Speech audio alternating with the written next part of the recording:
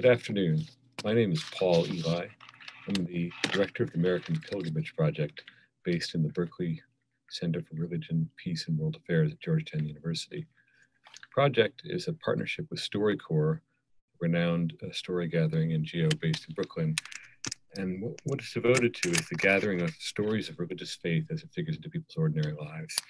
Over eight or nine years, we've gathered over 200 stories of religious faith uh, by several hundred participants in 20 locations around the country. And we aspire to do um, a similar effort in the years going forward. At this juncture in the project, uh, we're going into our what we think of as our public phase. We've launched a new website. We're pursuing opportunities to uh, have a public presentation of stories and accompanying materials at a museum or gallery or some such. And we're doing events such as this one, a live event involving excerpted conversations uh, that we've recorded uh, during this phase of the project, bringing together the participants to comment on them further. I'm very glad to have you all here. Before we go farther, uh, just a couple of notes. One is that the event is being recorded, and uh, if you've signed up for the event, you will get a link to the recording shortly. The other is that uh, we're going to have a question and answer session uh, partway through, and at, at that point, I'll look to the question and answer tab on Zoom to see what questions have come in. So if you have a question for participants or a general question, please type it into the Q&A section. So without much further ado, let me just uh, tell you what we aim to do here today. Um, two or three years ago, we had a live event in Riggs Library at Georgetown University in which we convened participants from the American Pilgrimage Project to carry their stories through to the present. We had a pair of participants from Baltimore, Maryland, and a pair of participants from Charleston, West Virginia. The event was a tremendous success, and we've envisioned doing it again on campus.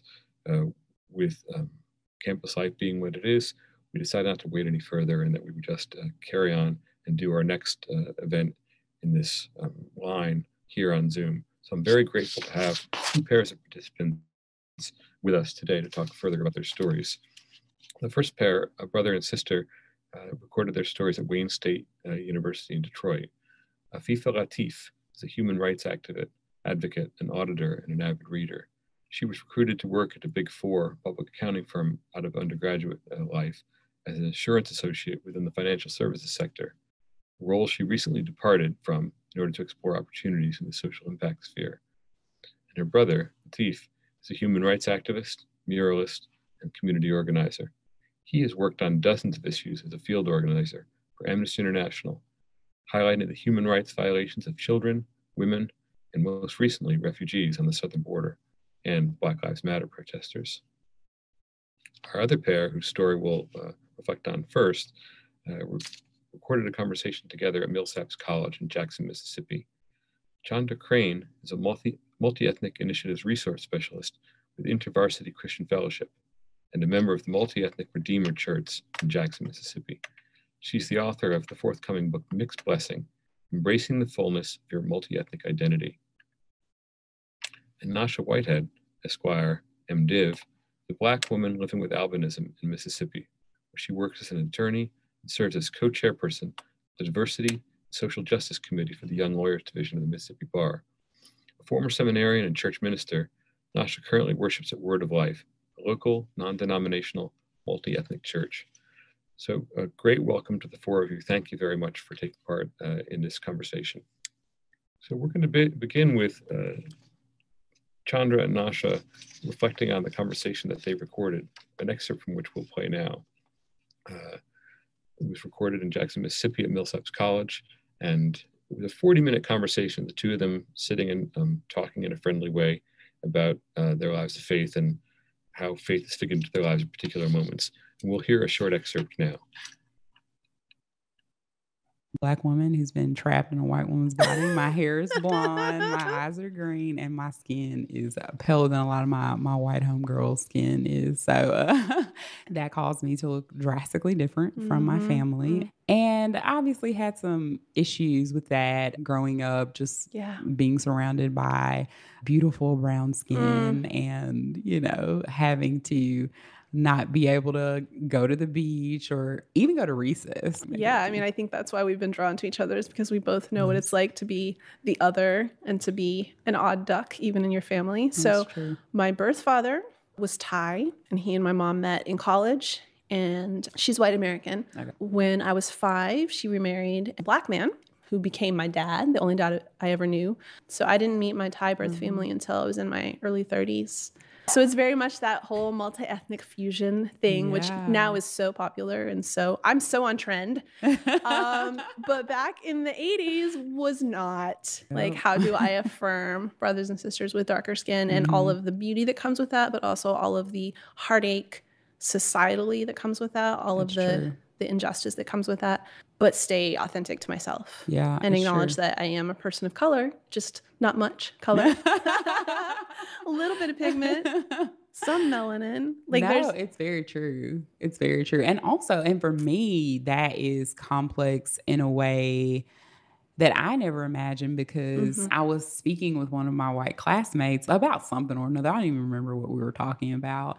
And my professor goes, When you think about things, when you process certain things, are you a Christian first? Are you a peacemaker first? Or are you black first? oh man. And I was like, what? Excuse me? that is not what we were talking about. and it stopped me in my tracks because I I mean I I began to to really think about my identity in Christ and my identity Yeah. as a black human and a black woman in so many different ways because I was like when you're coming from that perspective of, of being a believer in Jesus and like wanting unity then your first thought is let me really you know seek to understand and not to you know first be understood as the quote Right. goes so that really helped me a lot Oh, man. Um, so Yeah, that's a powerful moment. The not so happy story that happens a lot is people even question if I'm allowed, whatever that means, to get my MDiv. So every semester I meet some fool who's like, Well, what program are you in? And they say, Are you an MFT, which is marriage and family therapy? And I say no. always And then they look at me get that and then they say, Are you Master of Arts? And then I smile and I say, No. guess again Guess again. exactly. And then there's this pause where they're racking their brains. And actually, one guy said, Well, there isn't anything else. And I Oh said, Yeah, what degree are you getting? Oh, he said, Well, I'm getting an MDiv. I said, Me too. And he just looked at me like, oh, Surely you can't be. And I've, I've had people tell me, Well, you can't get an MDiv here. Mhm. And I'm thinking, I did not sneak on campus when no one was looking. Like the administration, I am a registered student Right.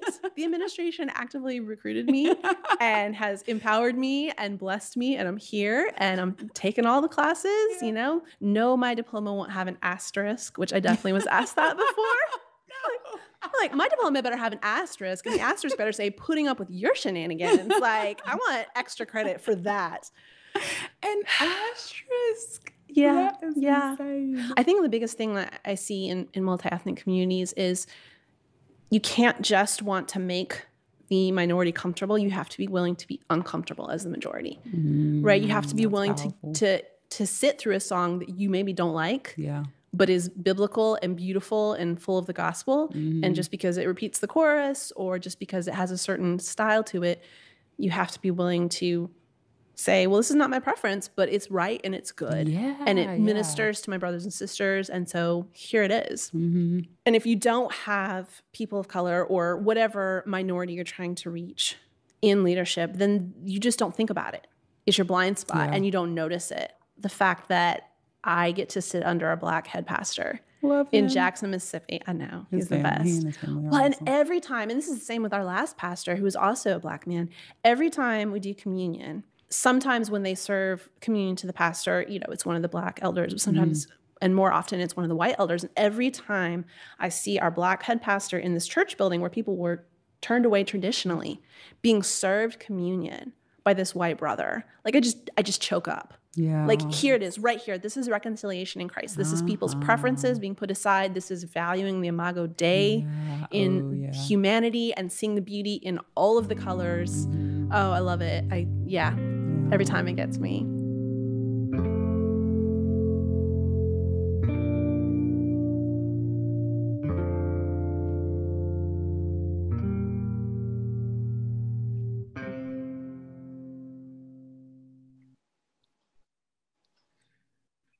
I so like that conversation. you know, I think it uh, is at the top of the American Pilgrimage Project list for most laughter in in a conversation. Here are these issues that are characteristically and not without reason described in a vexed way issues of racial identity, gender identity, uh, religious identity. Uh, those, those things, if we read the papers, are tearing our country apart. And yet, uh, here you are in the spirit of uh, Chandra's book subtitle, Embracing the Fullness of Your Multi Ethnic Identity. And it's so clear that you're walking the walk just from your demeanor. Is this something that the two of you had? Was this part of a running conversation or something that you decided to take up for the first time uh, when you sat down for the American Pilgrimage Project? Either one of you could answer. Definitely a part, I think, of a running conversation. Um, what it naturally flowed from us because when we first met, those were the things that we connected on, that we connected about um, our love for Jesus, our love for justice, and um, trying to find our place um, and our voices in uh, theology and in the world and our families and society. Those were our initial points of of contact and conversation. So yeah, it definitely was a part of a running conversation. I, I think. What you think? Yeah, absolutely. I think we recognize the kindred spirit in one another, um, both physically because we realized there was something different about our appearance than a lot of people, but also just sense of humor. So I think that's why it was so fun.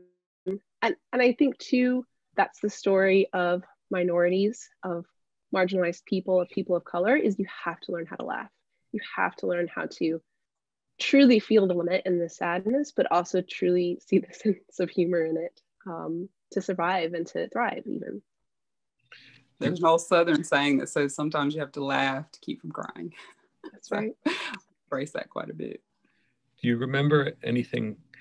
And if you don't, uh, I, it makes perfect sense if you don't. But I'm wondering how that first encounter take takes place. How do you how do multi-ethnic people of different backgrounds recognize each other and say we're, we're kindred in this in this experience of different our, our experience of difference makes gives us a sameness that we should embrace.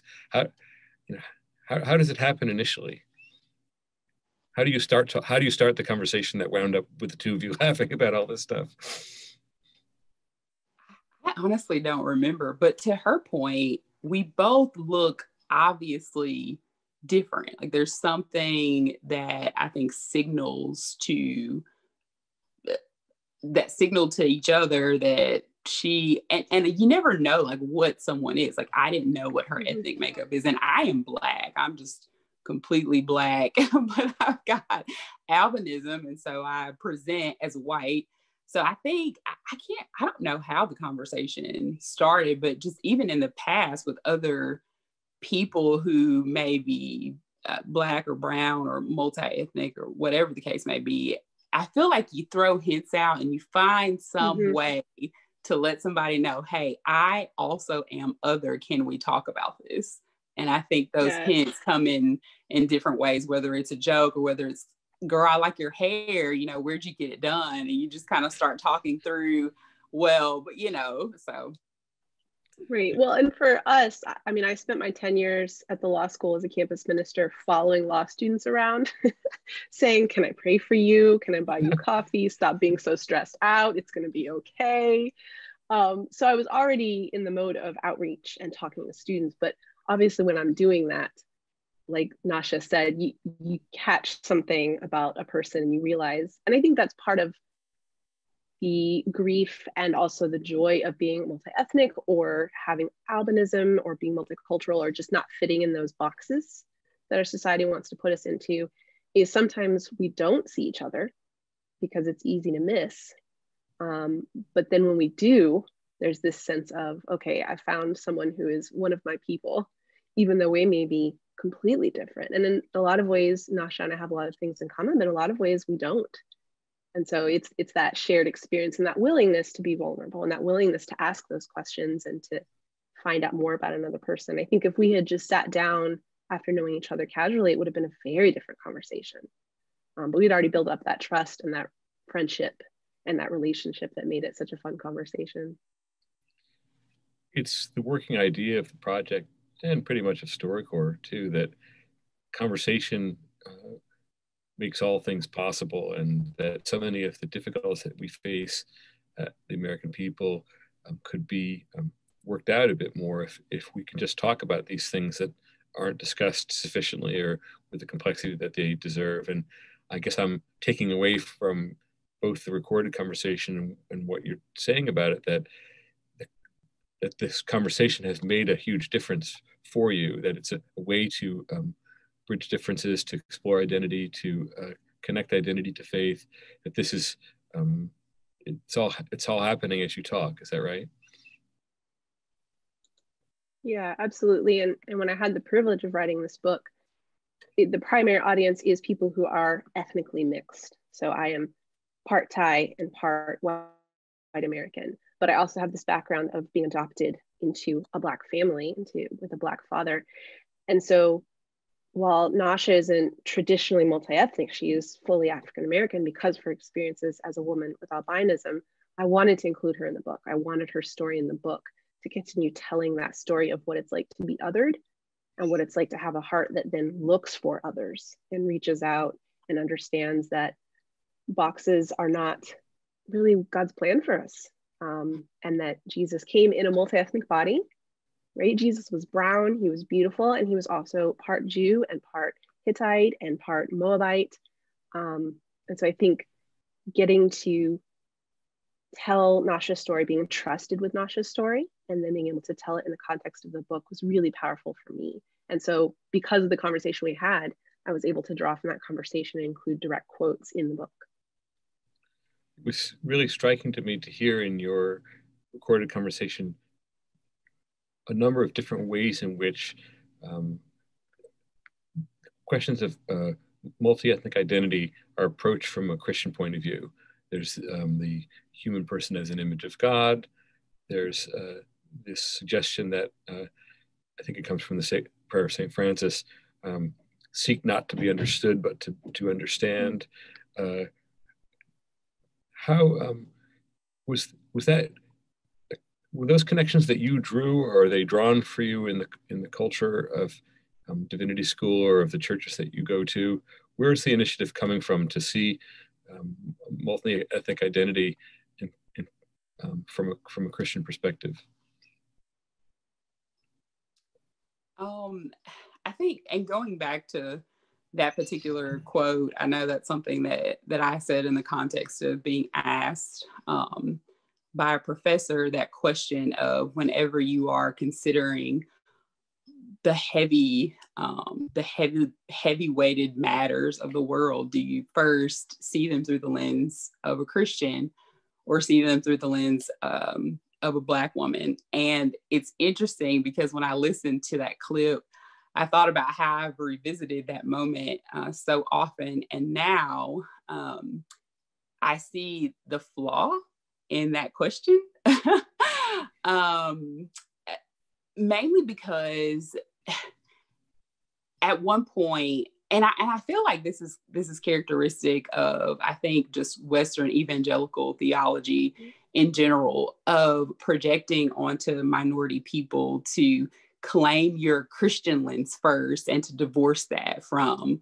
your blackness or your ethnic identity. And I'm not there anymore and and don't do that anymore because at this point I realize that when my initial response to racial hate or injustice or police brutality, I, I can't see it through, I can't compartmentalize. I am a, a black human. I'm a, I'm a follower of Jesus.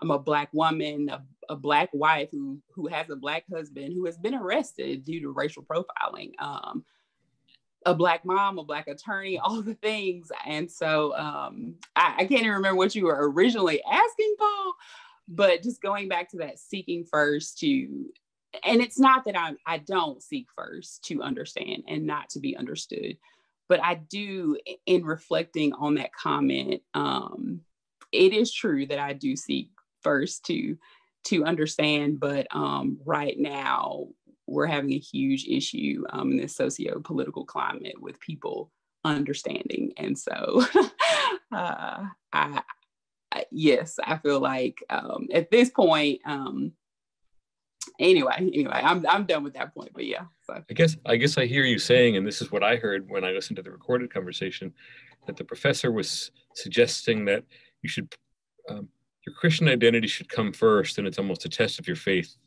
right? Your willingness to put it first. Right. Some time has passed. You said I'm not there anymore, and my mm-hmm.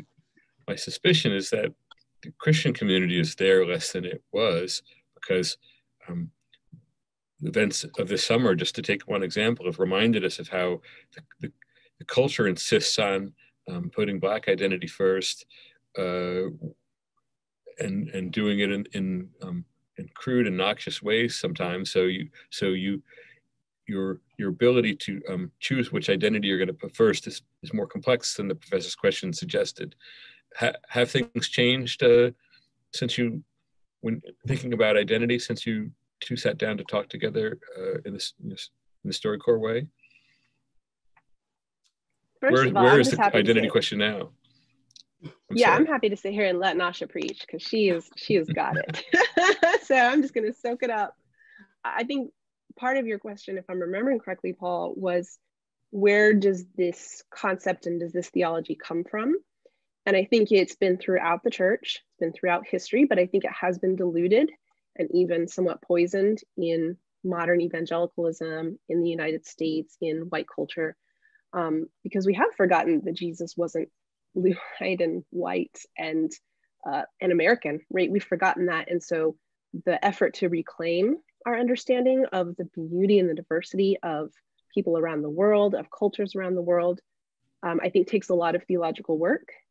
And so I know Nasha and I are both really passionate about that. And so it is a journey of taking the, the significance of what we believe, Christ and Him crucified, Him loving others, us being called to love others, and then figuring out how it plays out in day to day life, in particular theology. And so I think Nasha and I, and most Christians, most believers of any faith, are growing in our faith, right? And are figuring out, okay, what does it mean then that I see things a little differently. And I think what I was able to discover with doing the research and growing in my faith is it's not that we have to choose um, our identity in Christ above all else, it's that it undergirds all else. So I am first and foremost a Christian, absolutely, but that doesn't mean that I then become this bland, boring, culturalist person. It actually, that knowledge informs what it means to be a mixed woman, what it means to be uh, a seminarian, what it means to be a minister, what it means to be a friend. And so the, all of those roles are actually made more beautiful and more important and more significant because of that relationship with Jesus. So it's it's definitely a journey, and I think it's one that the church has ebbs and flows of learning and doing well, and then other periods where we don't. Well, uh, amen to that. You can preach yourself, and you just just did. uh, so, do you want to uh, um, fo- follow up with a little uh, preaching, or, or you want to take a different direction, Nasha? Uh, I'm interested in what this this uh, midrashing of the conversation can offer to to viewers. what um, what what is your experience um, thinking about identity from all these different points of view? Um, uh, enabled to grasp that is that you're particular to share with others?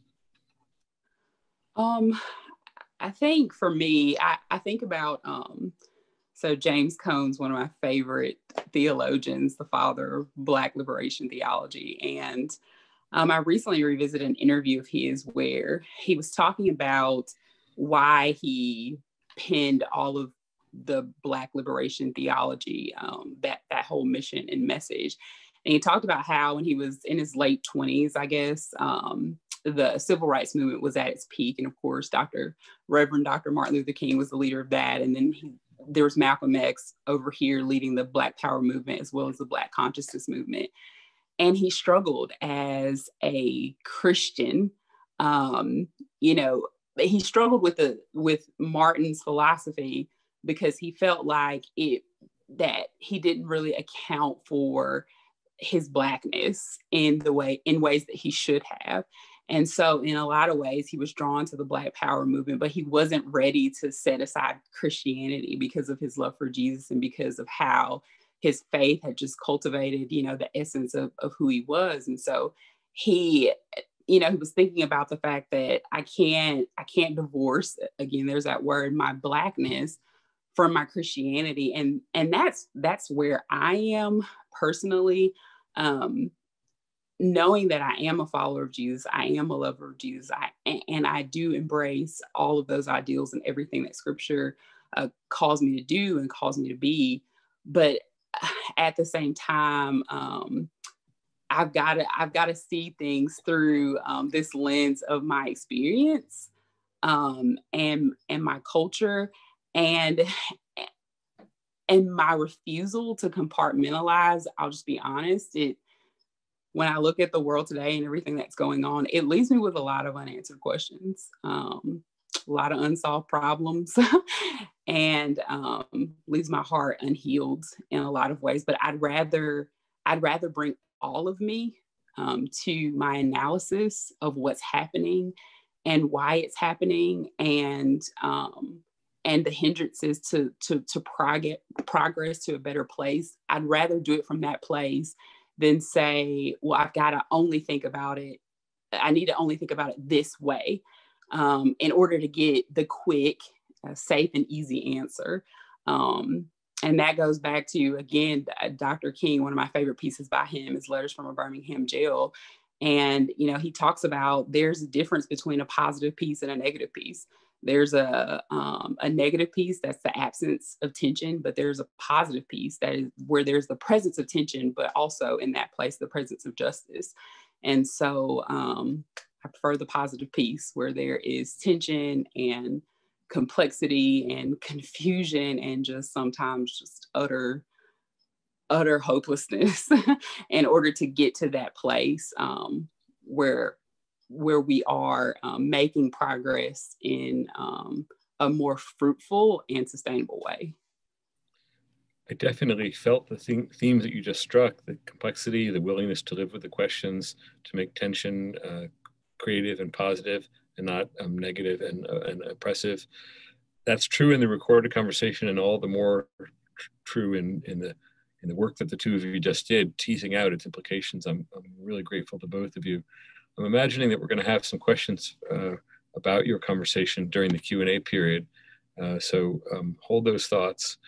And meanwhile, uh, we'll turn to the conversation um, that uh, Hamzah Latif and Afifah Latif had at Wayne State University a few years ago. Uh, at that time, uh, the September 11th attacks had created some um, difficulties for American Muslims, and I think it was that in mind that uh, uh, some of the conversations at Wayne State took place. And uh, let's listen to the two of you, um, Afifah and Latif, uh, talk talk together about your experience as American Muslims. I remember, I think I was seven or eight, being on the playground parents would wait for their kids to basically leave. And I remember standing near the fence because we were still in the school and they were outside the school. One of the parents yelled terrorist at me. It's one of those moments that it doesn't make sense to you. So you didn't comprehend it at the time? No, but you know that it should hurt. Mm-hmm. And it does hurt, but you can't comprehend why because you can't understand someone that's so much older than you saying something like that to you. Mm-hmm. And also, like, I was really young when 9 11 happened, so I didn't really understand that. And I didn't understand that I had to, like, bear the burden of what had happened. How did you identify you as a Muslim? Because I wore a scarf. And I remember wearing, like, mini skirts and a scarf. yeah. But I wanted to wear that scarf because it was beautiful to me. And so yes, when I came here, it was just a completely different understanding of like what a scarf was. And I can't imagine that like it can stand for so much more for some people in a light that I never even thought of it in. Right. So when that happened, your initial reaction was just that you were hurt but you didn't really know why. Yeah, because that was just like one of the first things that like had happened. I think this was like in the first week of school or something. So it didn't make sense to me. And then the next thing that I remember is being on you know like those uh, things on the playground that look like uh, like a spider web yeah, yeah i think yeah. they're called a geometric dome i remember hanging from it mm-hmm. and i remember somebody climbing inside of the dome, calling me a terrorist. And I remember wearing a peach scarf and they just Mhm. ripped it off of my head. That was somebody that was in my class. hmm I think that's one of the most scarring incidents that I've had. You feel like you don't have dignity. And I feel like even now, sometimes when I feel really insecure, it's from moments like that where you feel so, so, so small at that point. You wanted to wear the scarf earlier than you actually started. And both Mama and Papa, mom and dad, were actually against it and they wanted you to hold off. Yeah. And it was around the time of 9 11. Yeah. So you decided to wear it, and then it contributed to you being bullied at school. So then when Yeah. you would come home and talk about it, Everybody in the family said to take it off. My aunts told me to take it off. Cousins. My brothers, cousins, like my dad, my mom especially, because she didn't want me to go And you that. were really young. Do you remember that one thing that you said that really impressed mom and dad about it? It was like if I take it off, I'm still the same person. Nothing has changed And about they're not me. going to love me anymore or less. and they're not going to love me anymore. This is like an eight-year-old talking.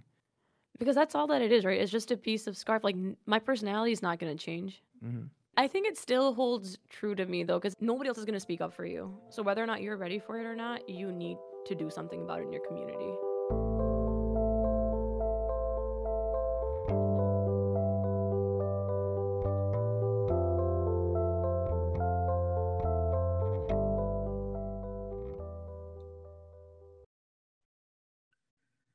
Thanks to both of you for that conversation. There's so much to say about it. I'm going to begin with what I'm feeling, which is just how how present you make your your own feelings to us through the conversation. There's no distance in my hearing between what you faced as a girl and what you describe as an adult. The it suggests that those um, feelings are are still very much alive uh, within you. Um, is that the case? Yeah. Um, you know, I would think that from elementary school to undergrad to now, you know, having moved away from Michigan to Chicago to live in like a different city, that would kind of change. And I think in a lot of ways, I've become a lot stronger having, you know, moved to Dearborn, which is, um, you know, it has a very big Muslim population, a very big Arab population. So you kind of stop thinking of yourself as another. Um, and then kind of moving to Chicago, where I thought I would see more diversity. Um, and, you know, I think I still felt the feeling of being of being somebody different and it's always like you're living your life completely fine and then you'll have moments where somebody just switches that for you so for example if I am on, so when I would take the subway in the morning, you know, to work in Chicago, I would just be, um, everybody was just going in and it's completely fine. And then you had a couple people that came on the subway and they started being really disruptive and they started saying really inappropriate um, things and kind of harmful things. And so it was me and a white girl that was standing next to me. And then there were, um, there was a white guy that was also on the subway. And and instead of um, you know trying to protect both of us the white guy pretty much only started to act like he knew this white girl who was like a stranger and just kind of made it seem like they were together so that you know she would stop being harassed. And then i was just on the sideline you know and i had to kind of fend for myself i had to protect myself um, you know get off of the subway. And so it's moments like that where all of a sudden you realize that like you're an outsider and that's in like a passive time. So then you know, when you get out of a Cubs game in Chicago and I'm walking, I have I have very little confidence that if somebody said something racial to me and given the current political climate, you know, and the anti-Islamic rhetoric, that somebody would kind of step up or protect me. You know, it's that same feeling of feeling like an outsider, of feeling unprotected that kind of goes along. You, mentioned the current climate. Uh, so when you made the recording, obviously uh, 9/11 was closer to that time, but but um, things are at least as acute or even more so in this moment. Is that is that what uh, what you mean? Yeah, no, I definitely think that in a lot of ways things have become worse, right? Because you have um, this anti-Islamic rhetoric started g- gaining so much more traction during the last presidential election, right? Because you have an administration that's coming in um, talking about dealing with the Muslim problem, that's entertaining the concept of a Muslim registry that implemented a Muslim ban, right? Like you're having all of these things kind of play out. And the scary thing is, is the traction that it's gaining within the community or the fact that people aren't outraged about it, because to a certain level, that means that people are are okay with it or you know there's a sentiment that people don't feel safe around muslims and i think that's really disheartening latif what do you do you feel the same way? Yeah yeah i agree. Um, i mean you, you talked about you know the incident happening closer to 9-11 and the question always comes up you know are things better? Have things changed? And if so you know how? And you know our experience in america started around that time a few years after 9-11 however you know the anti-muslim rhetoric in my mind is is broken into three three different pieces of life for me. There was the pre 9 11, uh, there was the 9 11 and the war and terror and everything that came with it. And then there is the Muslim ban era. And so each of those different areas had different implications on the way I would walk out of my house and go to my car and go to class or go to work um, and go to the, the you know, in, in high school, how I, I was in the locker room and then in and at work how i was in the break room and then you know how i am in my social groups. And each of those different eras have had vastly different effects on you know the way people approach me the way i approach people. And you know what afifah is describing paul the, the video clip that you or the sound clip that you played we've heard it a few times and i swear to god it is not any easier listening to it now than it was back then because like afifah said you know uh, whereas the the modality of those microaggressions and there's nothing micro about them um, the modality changes uh, but you know the frequency and the people that we are victimized by from those those have not changed at all. One of the things that's come up in some of the several hundred conversations that we've recorded is how um, often uh, religious identity is given a negative charge in childhood because of instances like this. And when I,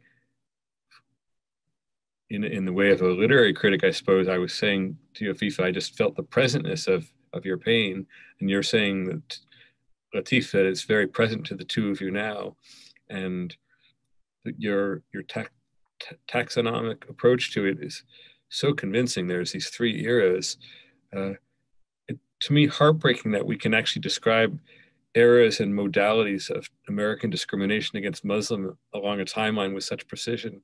You know that that is just so wrong that you even have to dispassionately break your life into eras and and make distinctions of that kind. I'm I'm just I'm kind of angry and disturbed at once, but I also want to hear what does it mean to walk out of your apartment or your house uh, in the Muslim ban era? What what um, can you can you put us alongside you, and what does that feel like,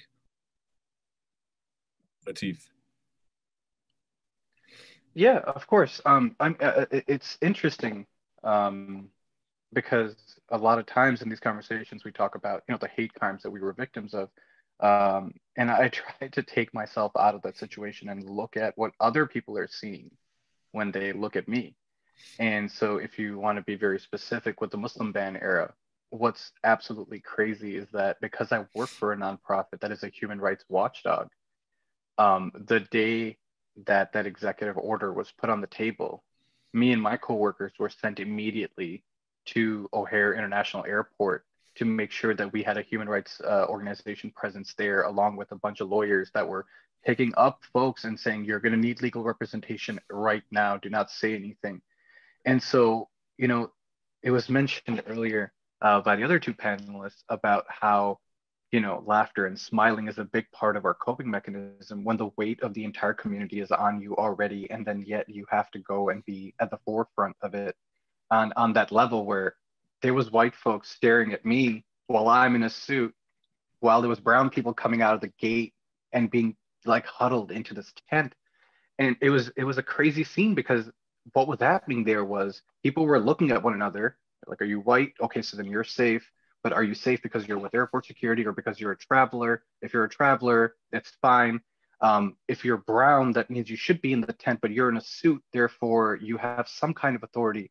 And but you also have a beard, so I'm very confused. And the person you're standing with is a big black man who's my manager, one of my best friends. And it was just like that's what was happening. The chaos that to describe you know, the, the controlled chaos and the tension that needs to be there, all of it was there at the airport the day the executive order was on the table.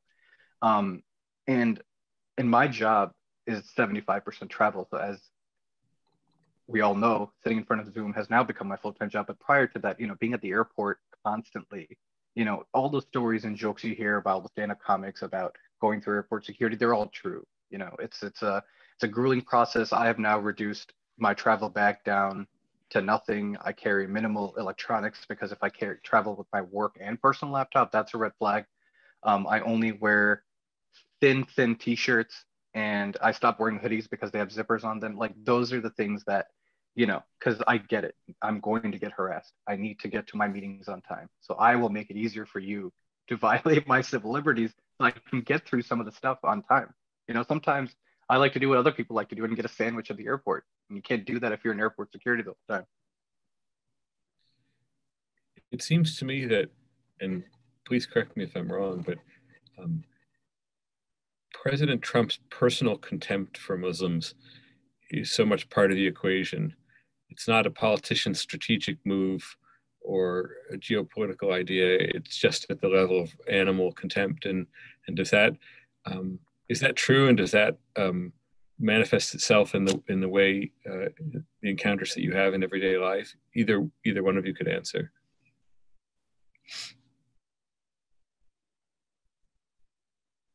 FIFA.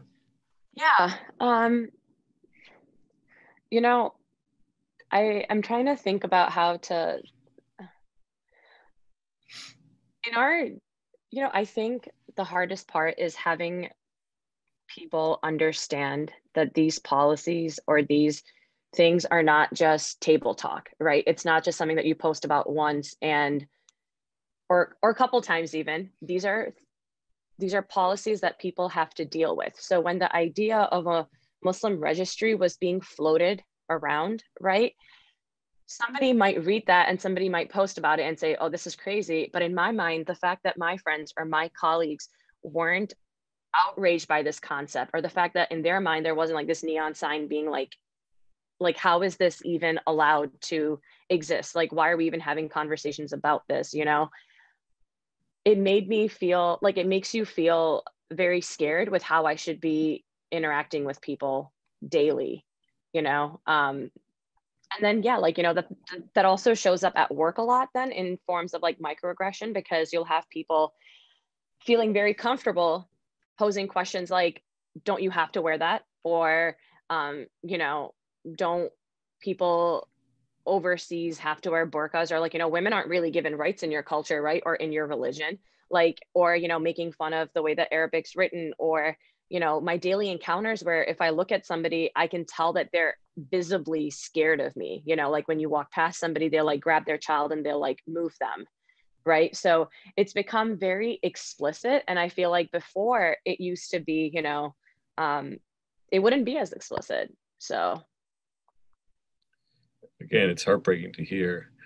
Um, and the, the range of uh, aggressions that you can describe, even in a short conversation like this, just suggests how extensive it is. The, the question uh, panel is now open. There's a question, if you want to put a question into the Q&A panel. I thought it might be interesting to have, um, say, uh, Nasha or Chandra ask questions of Afifah or Latif or the other way around.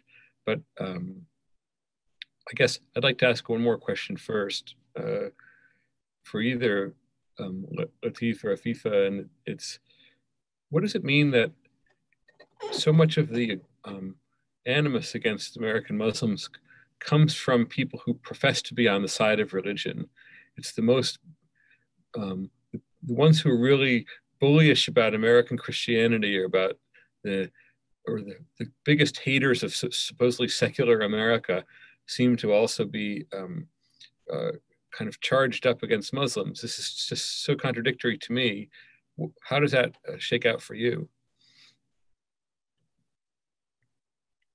I think um, uh, Afifah, I'll, I'll, I'll, take this question really quick. Um, I think when we're talking about the hypocrisy related to the angle that you just described, um, I, I tend to take a step back from that and look at this entire conversation of of religious identity, of racial identity as like sort of like a bouncing uh, back and forth between two different areas. For instance, there's a hypocrisy of me wanting everyone to understand that I'm brown, I'm a Muslim, I'm a straight male, but then I'm also exhausted of explaining myself. There's a hypocrisy there. There's a hypocrisy of being extremely religious and being super accepting, but then using that to deny certain people human rights. It's what I literally on a day-to-day basis, that's what I do. Um, you know, so there's that's sort of the area that I try to build empathy, where I'm like, okay, if I'm feeling exhausted of explaining myself, then other folks must be as well, of trying to consolidate these two sides of themselves. When we're, whether we're talking about abortion, whether we're talking about the death penalty, which is something I work on quite a bit, whether we're talking about the refugee crisis, what you just described leads to you know the immigration policy about the question you had asked earlier trump's independent thoughts and feelings on this affecting policy Whereas a lot of religious groups are, like you said, very openly against immigration and that sort of thing. With my, the work that I do, working with the resettlement projects and refugee um, placement, I would say 90% of them are through Christian Jewish orgs, while they are still openly advocating against certain human rights. And so Nasha mentioned the confusion uh, and, and, the chaos that comes with working on something that's so nuanced, I think that's what we're seeing now. It's it's easy to say that some groups are just openly haters, uh, but but I think as with everything with race, identity, religion, these are these are things that are so far away from black and white and so much in the gray that um, we we it, it just is a it requires much more of a nuanced approach, and not everybody has time for that kind of conversation. It's amazing to hear what you just said that um, your experience of your own inner division, uh, once um, eager to present yourself and weary of the need to do so, leads you to um, analogize that to the experience of a like a racist white Christian who's tired of uh, having to uh, um, go about life in, in multiracial, multi-ethnic, multi-religious America. The empathy there is just off the charts. Uh, I'm going to take that away from this conversation for sure. Uh, Nasha or Chandra, uh, qu- questions for Latif or Afifah? You seem to have so much to say to one friends. another. I just want to be y'all's friends, okay? Amen. I'm all, I am feeling the vibes, okay? I, I'm resisting the urge to do the white girl tears and like repent and apologize for how Christians have treated you. And I think there's a certain joy in knowing, and here I am going to cry, that we can find commonality in our griefs. I agree with you. I agree with you for the injustice and the bull crap that's been done against you. Um, and so I guess that leads to my question of like, how can, what in your experience has shown what things minister to you, what things encourage you, what things are helpful to see you as brown and Muslim and Americans and all of your complexity without stereotyping you? You know, uh, that's a that's a great question. If you do you want to uh, attack it? Um, or answer? I, yeah, you can start, and then I can add. Um, yeah, of course. So, I mean, when it comes to you know, feeling seen or feeling heard and not being tokenized. I think when we talk about identities, um, either I think it was either you or Nasha that mentioned like in, we often are faced with, well, what are you first? Are you a Muslim first? Are you a bearded hipster? Are you a terrorist? Which which category do you fall in? And please identify yourself so that I can treat you the way I stereotype that identity button. Um, and again, just moving away from like being Muslim or being brown or, or that sort of thing, I think it's very important for us to understand the stereotypes that are associated with those titles and then be able to divulge our information. Because when I get asked that question, I sit back and I think like, well, how do I want Chandra or Nasha or Paul to treat me? Do I want them to treat me like a human rights activist? Do I want them to treat me like a recent immigrant? Do I want them to treat me like an artist? And that really shapes how they treat me. So, for instance, I've been on panels where I, I will do a mural and they'll call me up. I'll be next to some some white artists. White artists get questions like, "What inspires you?" My questions are, "What did your parents say when you took up art?" I was like, they said what every artist parents say: get a, a real job. You know what I mean? like that's that's what they said. Um, and, and so my my my thoughts and feelings are more along the lines of like, what are the stereotypes behind each identity? Let's talk about those. Um, and panels like this, you know, feeling this this is the, you know, like you said, I just want us all to be friends. Like it seems like we have so much to talk about.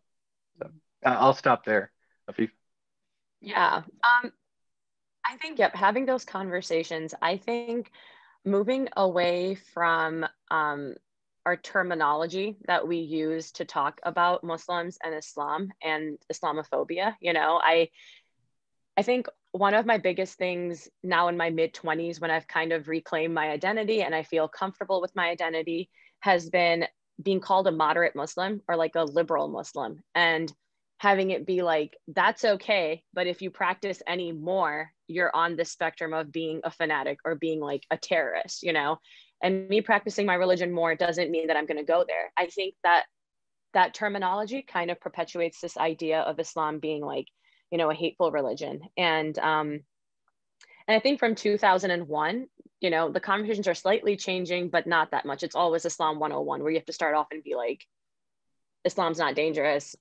Like you know it's not a violent religion um, and starting off there. So yeah i think changing up our terminology how we talk about it creating space where you can have these nuanced conversations um, is so important.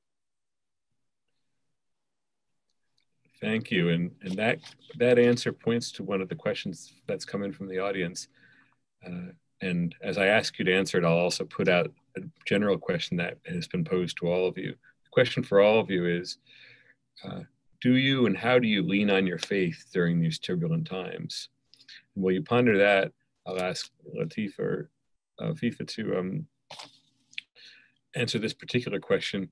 How much, and it speaks to the questions of the kind of definitional matters that you both just addressed, how much do you think racism is embedded in or a foundational cause of Islamophobia?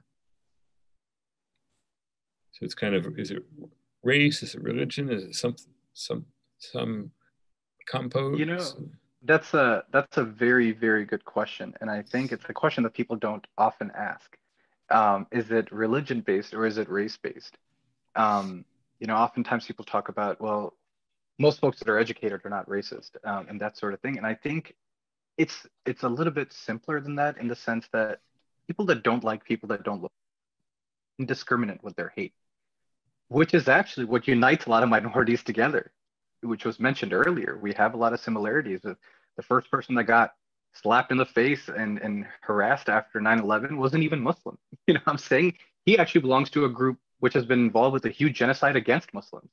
And, and that's a great example of the question that was asked is that, is this a race thing or a religion thing? Um, and, and, and I think that just dictates like how much of this is just pure, uh, you know, racial elitism and, and, and preserving that rather than it being us as, as the issue.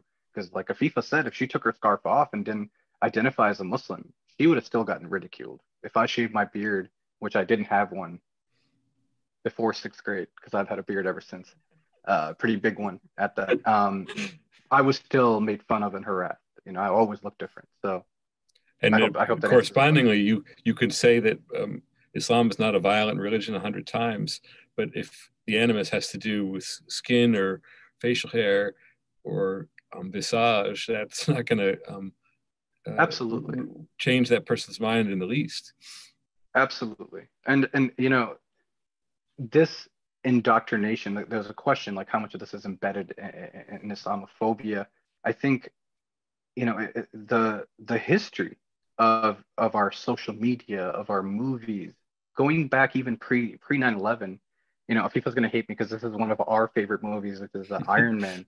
And uh, you know, there's a scene where where this guy, the villain, he describes this. Of course, the whole movie, uh, you know, Muslims are bad guys. I'm not gonna be redundant with that. Everybody knows, but he literally says They show a scene in Afghanistan or northern Pakistan, and uh, the guy looks at this Arab and he goes, "That is a dysfunctional, mute, scrupulous camel jockey." And this is a children's movie, a superhero movie that all of us watch and Afifah and I admire. You know, that is giving somebody, here's what a terrorist looks like.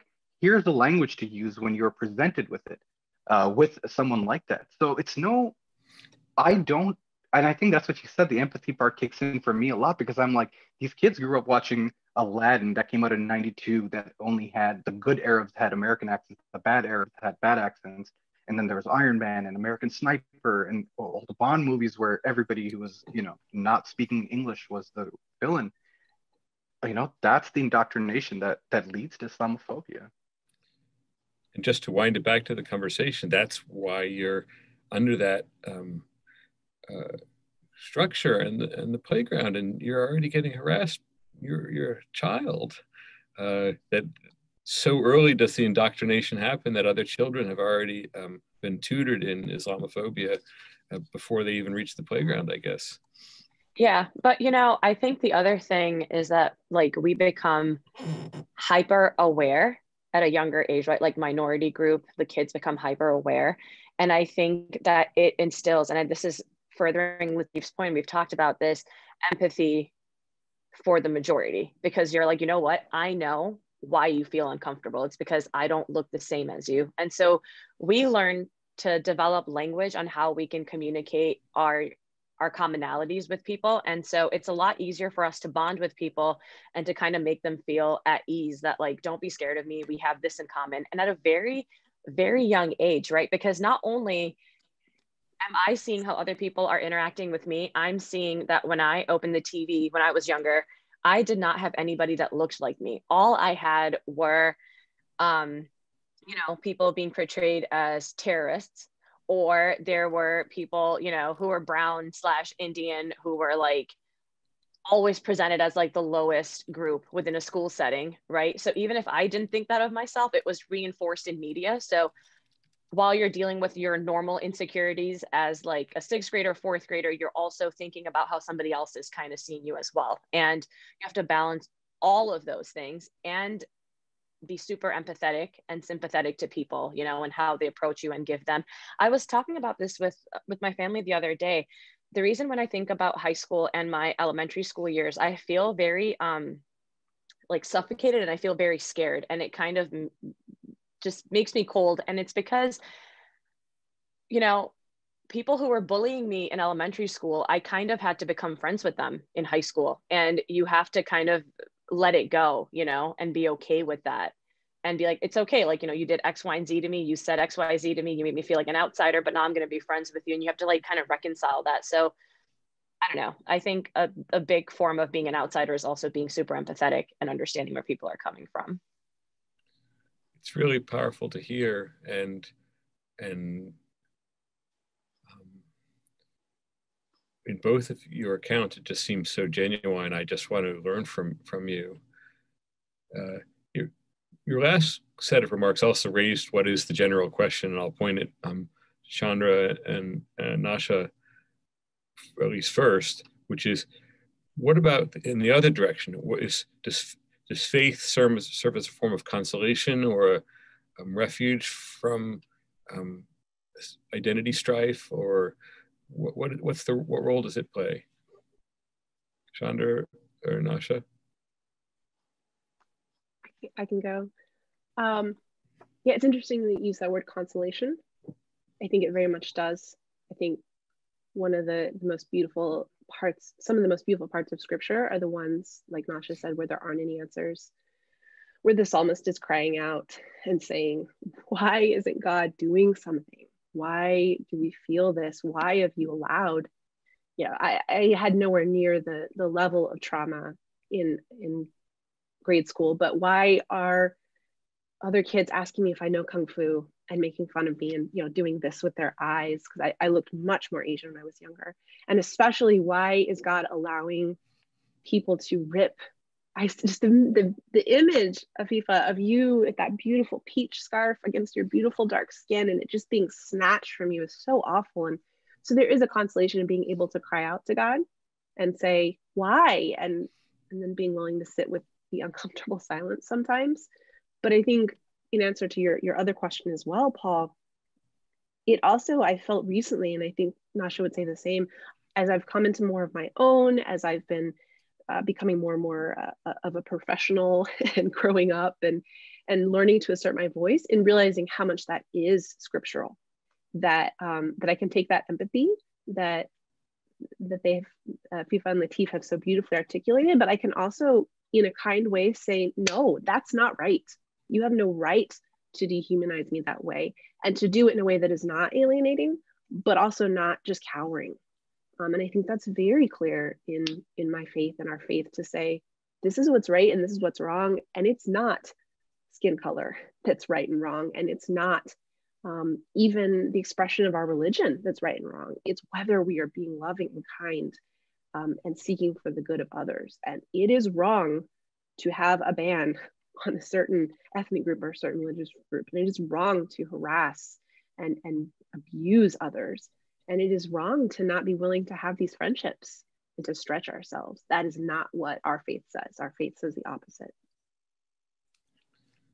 Nasha? I, um, similar to Afifah and, and not to exactly correlate my experience with yours, but I also was bullied in school. Actually, my mom's a principal. I made a joke um, to her about how I would have loved virtual learning back in middle and high school because I dreaded going to school. Um, I I made the joke I think in in our in our clip about being a black woman trapped in a, a white woman's body and i'm i've got makeup on now but like my eyelashes and my eyebrows are translucent for the most part and um, I was I was bullied quite a bit and had lots of incidences and instances where um, I too was stripped of my dignity. And for me, my faith played a um, significant role in being able to emerge from a place of honestly, at one point, even being suicidal when I was in middle school.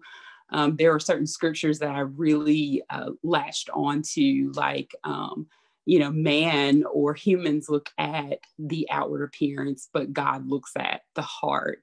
And that what we see is is fleeting, but um, our, our inward person is being renewed day by day. And so finding, understanding that being truly beautiful and um, valuing myself and valuing others meant cultivating a character of love and generosity on the inside and not focusing so much on the outward appearance. And and that was really healing for me as as a young person and and just talking about just what is going on in the world like what is going on in the world. But um I, I find such consolation in in my times my personal times in in the presence of god. Like chandra said um just crying out and asking questions that I can't really ask of anyone else. I remember having a moment and I I feel all the things very strongly. So like Chandra may tear up a little bit here, but um I remember asking God eh, Black Lives Matter. I remember asking him, eh, I'm like, Lord, okay, Black Lives Matter is uh, saying that a Black life matters that to me that is the simplest concept. And the fact that it is a topic of controversy and that it is a topic that is opposed a, a fact a, a a central just basic thing a black life matters that people have a problem with a black life mattering. I can't say it enough um, being able to express those kinds of things um, in in that those personal times with God, that that brings me consolation. Again, even though I don't always leave that place with answers and solutions, at the end of the day, I can't control anybody but myself. And I'm able to, in those times, walk away with, okay, well, Black lives don't matter to everybody. So now what can I do? What can I do on a daily basis, on a moment by moment basis um, to to bring light, to bring love, to bring truth to power. What can I do, and how can I inspire and encourage others to do or not do, say or not say things that are going to be contrary to that that very um, to to everyone in society being being valuable and being worthy of of of love and and respect just respect it's kind of like com- uh, Saturday Night Live comedian Michael Che. I don't know how much of uh, how many of y'all watch him, but he actually has a stand up where he talks about Black Lives Matter, and he says we're starting the negotiations that matters. He's like, can we agree that Black lives exist? Can we just start there? you know. So, uh, but anyway, just finding finding ways each and every day, moment by moment, to um to be to be the solution to you know be the solution I want to see. Is that, is that how that quote goes? be the change you want to see. Is that what it is? That's it. Gotcha.